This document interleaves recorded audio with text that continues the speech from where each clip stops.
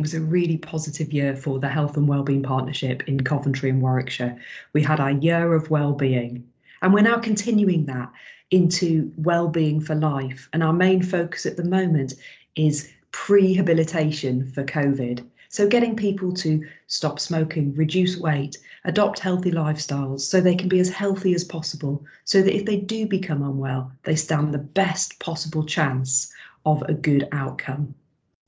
Another really positive initiative at the moment is our call to action.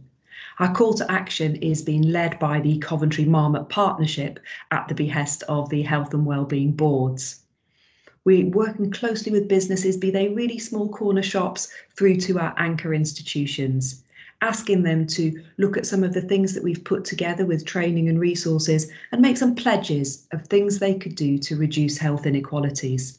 Some of the examples are a review of HR policies to make sure there aren't barriers or discrimination, implement the living wage, perhaps strengthen investment in early years services that they provide, achieve the Thrive at Work Workplace Wellbeing Accreditation, support the Digital First programme to reduce digital exclusion, achieve the Disability Confident Accreditation, provide staff with something as simple as equality training, and to think about more flexible hours that might help women who have less secure jobs maintain employment.